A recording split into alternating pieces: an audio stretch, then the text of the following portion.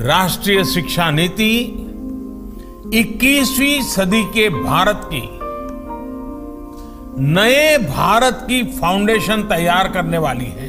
Inspired by the vision of honourable prime minister Shri Narendra Modi as enshrined in the national education policy Tripura has ventured on its most ambitious project, Mission 100 Vidya Jyoti Schools, to create 100 islands of excellence for providing quality education to 1.2 lakh children.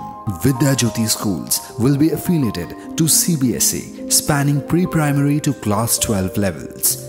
These schools will be developed with an investment of rupees 500 crores on three pillars of augmenting infrastructure, igniting minds and blooming children. In line with the Honorable Prime Minister's call to move away from mark sheet driven education, Vidyajyoti schools will provide holistic education and assess children on individualized learning outcomes and handhold towards chosen career paths. The aspiration is to have at least 5% of the students to secure admission in institutions of national importance. On the eve of Golden Jubilee year of Tripura state, Mission 100 is people's resolve to transform the educational landscape of Tripura by fulfilling the dream of our Prime Minister to lay a strong foundation for human capital development by providing value based 21st century ready education to children and make Tripura a truly model state in India.